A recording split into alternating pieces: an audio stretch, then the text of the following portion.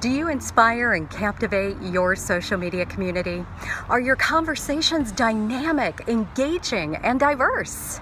If you want to stand out online, I think we all know you have to earn the attention of your audience, and you have to do it in a really short amount of time.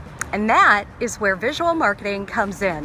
Hi, I'm Rebekah Radice, and I get the honor of speaking and presenting at Social Media Marketing World 2016 and talking about this exact topic that is very near and dear to my heart.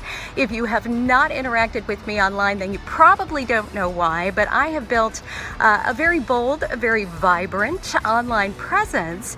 And in my practical and tactical session at Social Media Marketing World, I'm going to teach you how to design your own unforgettable brand through visual marketing. We're going to be there Sunday, April 17th to Tuesday, April 19th at the San Diego Convention Center. So please, please join me. I hope to see you there.